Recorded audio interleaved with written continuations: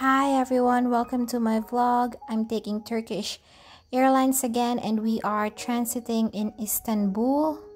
These are the blankets for my flight and uh, we shall open our care kit and inside are these slippers which I usually throw away. This mask as well, I just throw it out.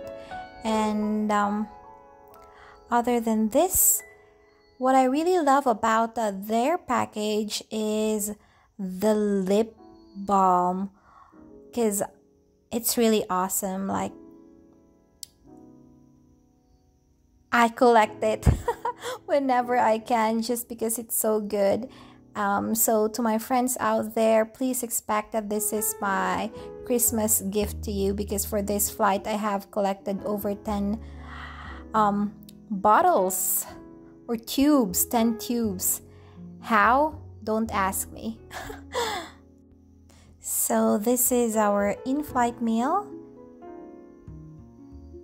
And whenever you receive a menu on your flight, it just feels so special.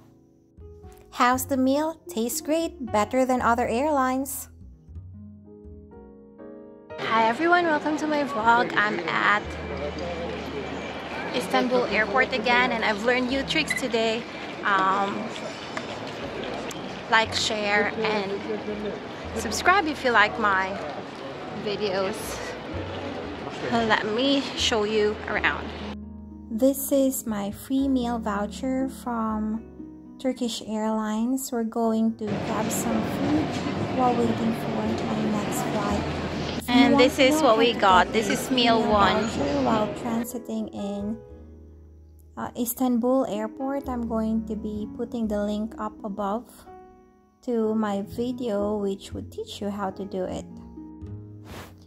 If you have a visa, you could also avail of free tours.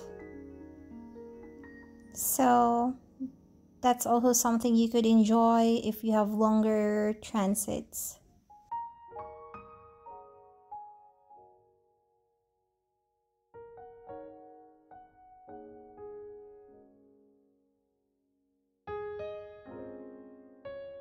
You see this Wi-Fi kiosk here. If your card is not working, like mine did, because I wanted additional hours, you could go to D&R bookshops. Uh, and in the D, D&R bookshops, they send, I mean, they sell the cards for two hours. It costs 10 euro. And then for 24 hours, it's 14 euro. Um, it is two dollars I mean two euro and 50 cents more expensive than using the kiosk. But if you, your card is not working or you only have cash that is your only option. This is where you could buy the card. So this is what the card look like and you got your password here. Used my gcash and for two hours i paid 632 pesos. Grabe ang mahal no? 632 ah!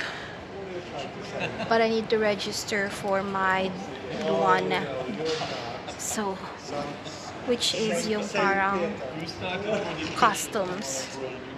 I need to get Wi-Fi. I forgot to do that. So let's begin. So I got myself a kide, which is a traditional candy.